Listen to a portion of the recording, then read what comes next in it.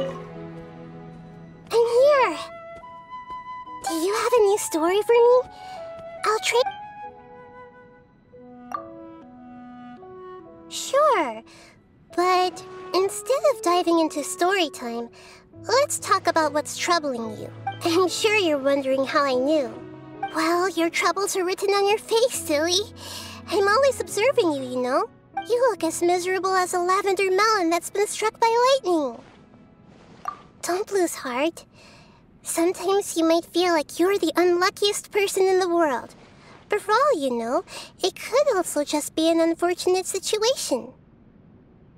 Well, to use an analogy, let's say a Rishboland tiger ate a fox and got diarrhea. You can't know for sure whether the diarrhea was caused by eating the fox or by something inside the fox's stomach. Does that make sense?